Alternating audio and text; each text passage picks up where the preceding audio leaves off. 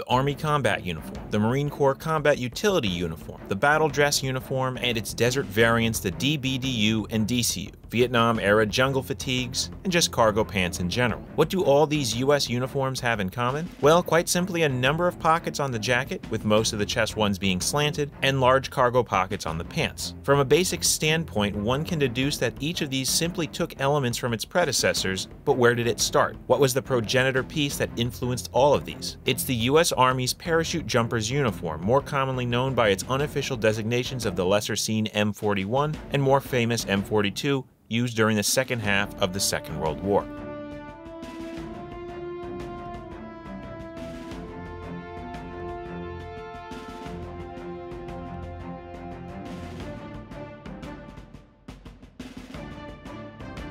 The jump in technology between the First and Second World Wars brought about a number of changes to the battlefield be it advancements in small arms, tank and armored transport, naval vessels, tactics, you name it, and chances are good it progressed leaps and bounds over the 21 years between the end of the Great War and Germany's invasion of Poland. However, one of the most significant came in the way of aviation and the tactics that could be employed along with it. Seeing a series of demonstrations and exercises throughout the 1930s by the Soviets, Italians, and a handful of other countries, many who became directly involved during World War II were quick to utilize the rapidly developing airborne strategy strategies. Though the US did play around with small-scale airborne operations and experiments through the 1930s, it wasn't until July 1, 1940 did things truly kick off with the formation of the Parachute Test Platoon from the 29th Infantry Regiment, which consisted of 48 men who essentially paved the way for all future US paratroopers. It was here most of the elements associated with airborne soldiers, be it procedure, tactics, equipment, and uniforms, were ironed out. At the start, there was no official jump uniform, be it for training purposes or otherwise and so the test platoon and the early trainees that followed used what they felt were adequate enough while an official one was being created. This came in the form of a series of coveralls such as the Herringbone Twill Army Air Corps Type B1 mechanics coveralls, all black ones often worn by instructors during certain training activities, and even generic blue denim ones. Officials knew these pieces would not be suitable long term or for actual combat, but felt that a one piece suit was the way to go design wise. And so the initial idea was for the Quartermaster Corps to design a newer more efficient one for airborne forces. Enter the experimental balloon cloth coveralls. Being made of a green, tightly woven polished cotton, though sometimes referred to as satin or silk, but most commonly balloon cloth, these pieces focused more on aerodynamics and other factors related to the relatively new concept of troops jumping out of airplanes, such as wind and temperature resistance. The problem was it was extremely impractical with the other primary element troops would encounter,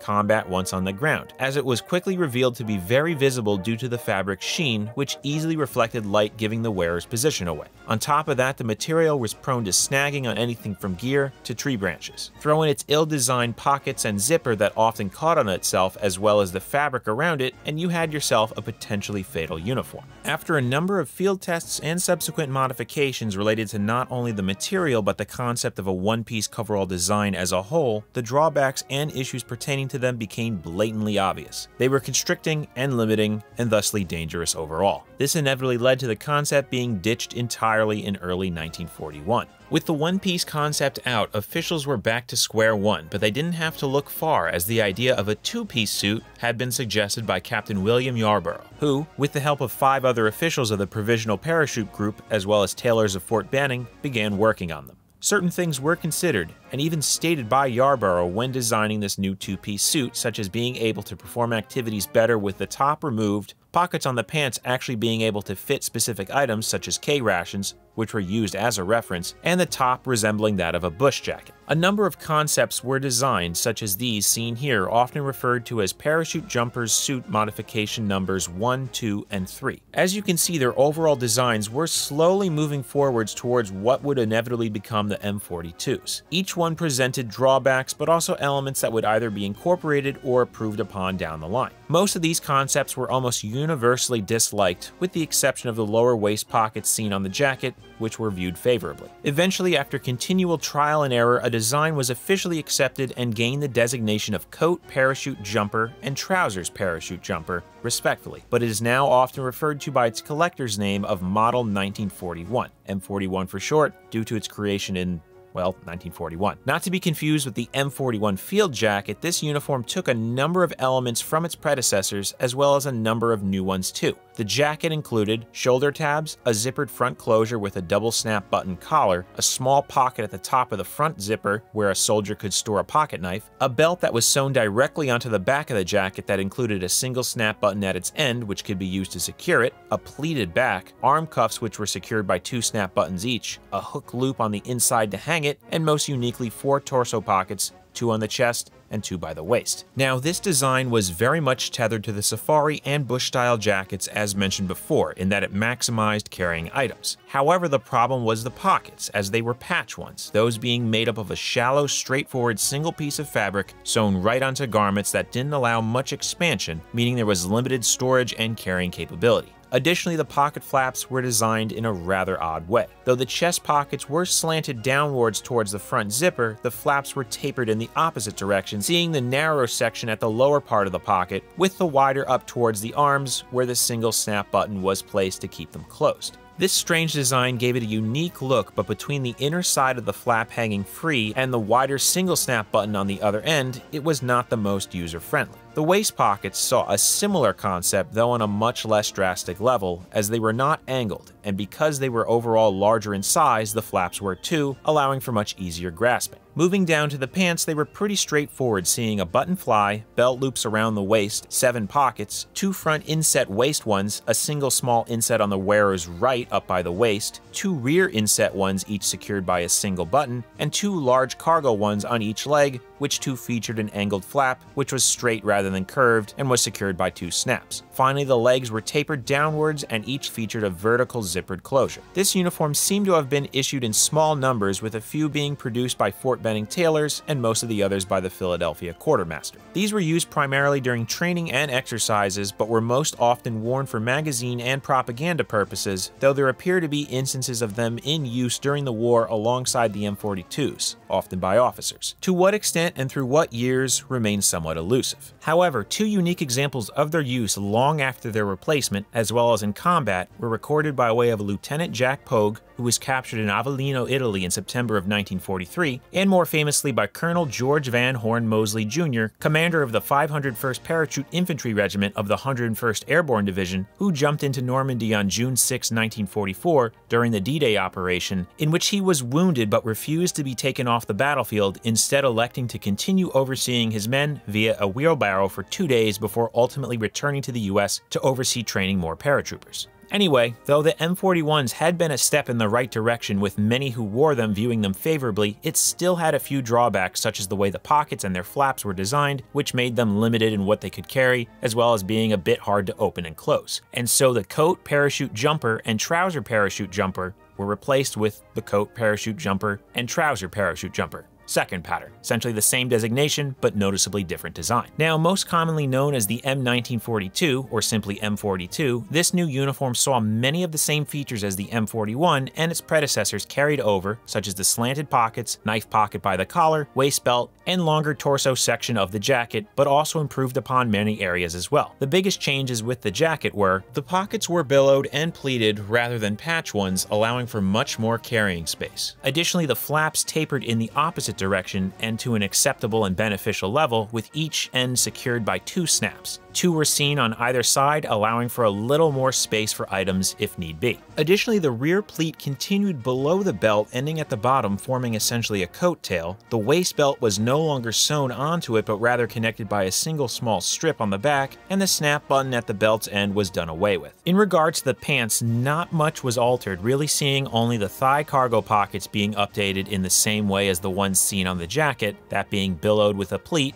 with an updated flap and four snap buttons, and the lower leg zippers being removed and replaced with a triangular elastic gusset, allowing the legs to be easily tucked into the boots. Now, this design would more or less be finalized with quartermaster specifications for both the jacket and pants being submitted in the final week of December 1941, well early of the uniform's first use in combat, which came nearly a full year later on November 8, 1942 during Operation Torch the US's first engagement in the West by way of a full-scale invasion of North Africa against Vichy French, German, and Italian forces. It was here members of the 2nd Battalion 509th Parachute Infantry Regiment saw action. From there, the uniform would continue to be worn as U.S. forces fought their way across Africa and over the Mediterranean into Sicily and eventually Italy. During this time, subtle differences were seen with the M42, be it because of manufacturers or updates to the design. Small things like shading, button composition, and color, as well as pocket flap shapes varied, while others such as the removal of the elastic triangle on the pant legs were also seen.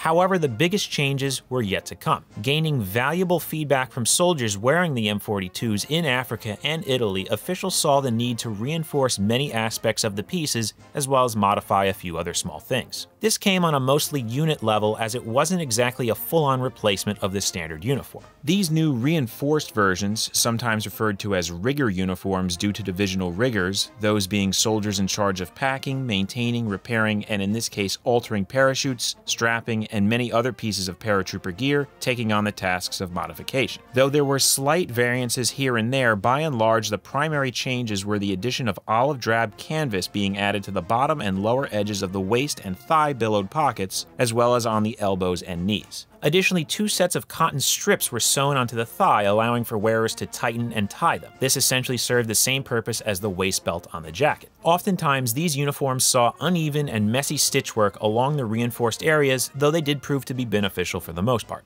Though it wasn't seen with every uniform, a bulk of these newer ones were created in the weeks and days leading up to Operation Neptune, or D-Day as it's more well known as. The airborne drops that were a vital part of the invasion of France also saw a few other changes to the uniforms, but again not an all-sweeping and total one. Such additions were the inclusion of large American flags stitched or worn on a shoulder for quick identification, name tapes added above the wearer's left chest pocket, though both of these had been done a fair amount in the years prior, seeing name tapes in different colors and sewn at different angles and most significantly, them being chemically treated. These uniforms were impregnated with an anti-chemical agent called chemical chloramite, or CC2. Before the invasion, the fear that the Germans would use chemical weapons as a response was very real, and so soldiers' uniforms were treated with the agent. Though it was seen as a way to protect troops, the result of the impregnation, that being giving it a horrible smell, darkening and stiffening of the fabric, white residue appearing, and leaving a general slick feel, was mostly panned by the wearers. After the landings and fighting, when soldiers were relieved or pulled from combat, most of these uniforms would be collected and destroyed, or simply replaced with a standard one,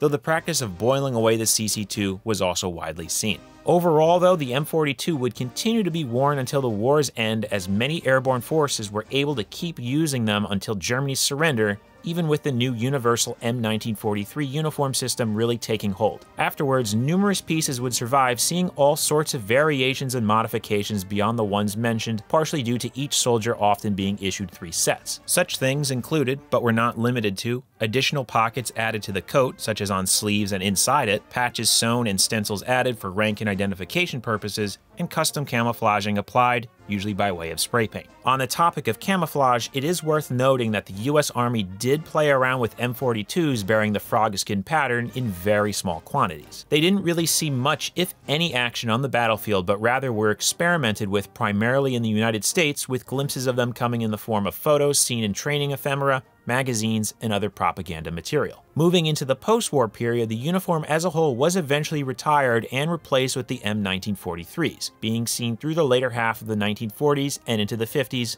including the Korean War. However, by the mid-50s, with the escalation in Vietnam looming, the uniforms made a comeback. Sort of. It's a bit all over the place, but essentially the overall design of the M1942, that being the Bush-style jacket with slant pockets, cargo pants with larger thigh pockets, and overall general design of the whole uniform, was evaluated and transferred over to the Tropical Combat uniform. It was first tested and quickly adopted for special forces operating in South Vietnam in 1962, eventually being adopted for all field use in 1963, and then for all Army personnel in the country from 1967 onwards, but that is a whole other story. Today, the M42, or at least elements of it, can still be seen in many of the US military's combat uniforms. Be it large billow and pleated cargo pockets on the BDUs and DCUs, slanted chest pockets of the MCCUUs or ACUs, or just the general safari jacket styling seen on numerous others. Like various other garments and items of the Second World War, it was highlighted in a major way thanks to the HBO show Band of Brothers,